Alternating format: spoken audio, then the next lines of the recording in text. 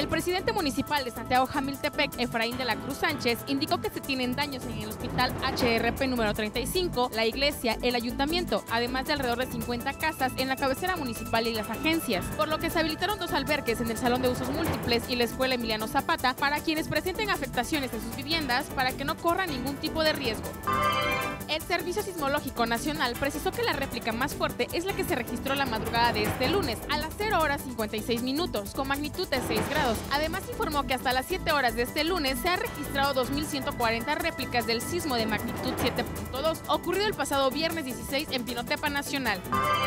Tras el movimiento telúrico registrado el pasado viernes por la tarde, severos daños sufrió el templo de Santa María de Asunción en Tlajiaco, en la zona de la Mixteca, donde por determinación del párroco Santiago Sánchez se acordonó el atrio para proteger a la población. El párroco informó que las partes más dañadas son la fachada, el campanario y sus torres, las cuales ya presentaban afectación a causa del sismo de septiembre pasado.